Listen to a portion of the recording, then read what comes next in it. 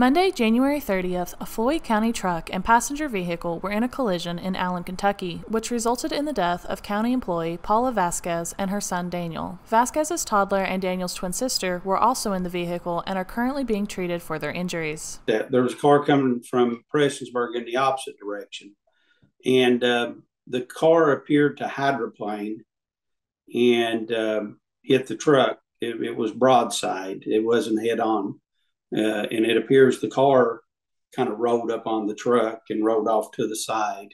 And um, we, when I arrived on the scene, uh, we just knew that uh, we had one county employee involved in the truck.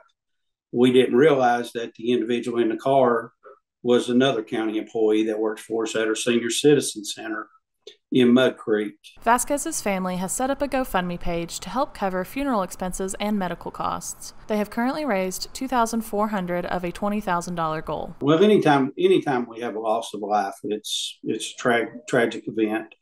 Um, but when you know someone, it makes it even worse. Um, uh, good people, uh, good employees. I mean, these are folks that we see on a regular basis, and um, you know, we we want to make sure that their needs are met, being taken care of, and that's what we're trying to do with Mr. Goebel and and Paula's family as well. And uh, and as we have updates, we'll we'll pass the information along to you. But right now, we need to be praying for the for the family and the uh, the the daughter that's currently in the hospital in Lexington that she she pulls through. And um, uh, so we're just asking for for prayers and and uh, and for people to keep them in their thoughts if possible. To donate to the GoFundMe, go to gofund.me backslash 5CD55861.